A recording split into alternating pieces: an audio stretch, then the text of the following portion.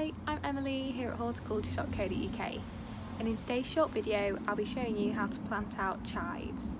Chives are a low maintenance perennial herb which make a great addition to your herb garden.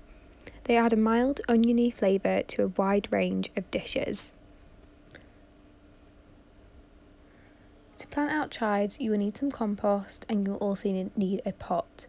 I'm using this long pot as this is perfect for a windowsill. You can even grow chives indoors if you only have a balcony.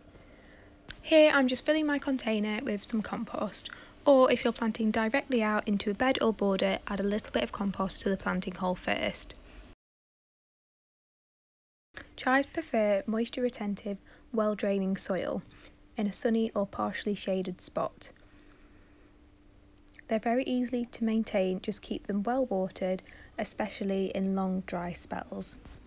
After filling around my chives with compost, I'm going to add a label in so I know what variety it is.